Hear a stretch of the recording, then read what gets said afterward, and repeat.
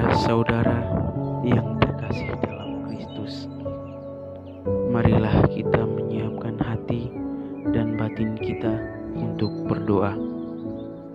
Marilah kita berdoa dalam nama Bapa dan Putra dan Roh Kudus. Amin. Bacaan dari Injil Matius. Sekali peristiwa, Yesus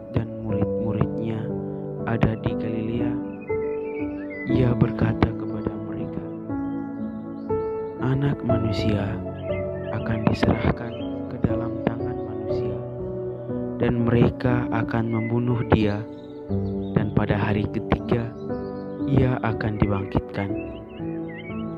Maka hati murid-muridnya itu pun sedih sekali. Ketika Yesus dan murid-muridnya tiba di Kapernaum, datanglah pemungut bea bait Allah kepada Petrus dan berkata, Apakah gurumu tidak membayar bea dua dirham itu? Jawabnya, memang membayar. Dan ketika Petrus masuk rumah, Yesus mendahulinya dengan pertanyaan, "Apakah pendapatmu, Simon? Dari siapakah raja-raja dunia ini memungut bea dan pajak? Dari rakyatnya atau dari orang asing?" Jawab Petrus, "Dari orang asing." Maka kata Yesus kepadanya, "Jadi, bebaslah rakyatnya. Tetapi supaya jangan kita menjadi batu sandungan bagi mereka, pergilah memancing ke danau, dan ikan pertama yang kau pancing, tangkaplah dan bukalah mulutnya, maka engkau akan menemukan mata uang empat dirham di dalamnya. Ambillah itu dan bayarkanlah kepada mereka bagiku dan bagimu juga. Demikianlah Injil Tuhan. Terpujilah Kristus. Renungan Orang-orang Yahudi membayar pajak untuk menunjukkan kebaktian mereka di bait Allah. Hal itu berarti pajak tersebut akan digunakan untuk memuji dan mengagungkan Tuhan Sang Pencipta.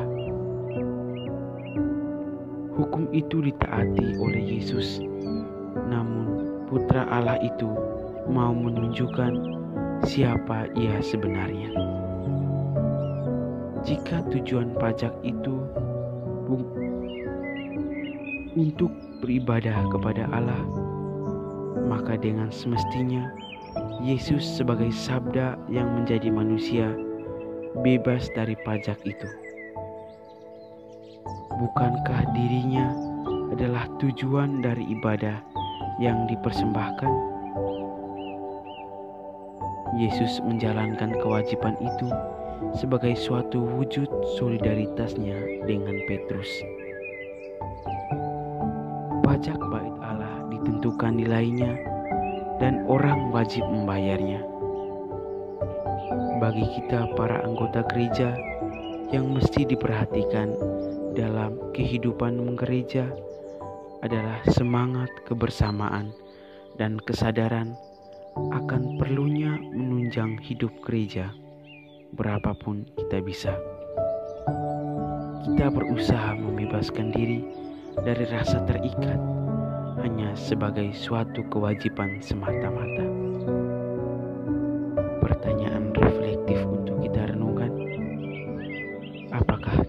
masing-masing sudah bisa membangun kebersamaan dan kesadaran dalam diri kita masing-masing sebagai umat Kristen. Tuhan Yesus memberkati. Allah Bapa yang Maha Kuasa, puji dan syukur kami panjatkan kehadiratmu atas segala berkat berlimpah yang peroleh Sekarang ini kami mohon, curahkanlah roh kudusmu ke atas kami, agar segala tindakan kami selalu terarah kepadamu demi kemuliaan namamu. Namamu kami puji, kini dan sepanjang masa. Amin. Dalam nama Bapa dan Putra dan Roh Kudus.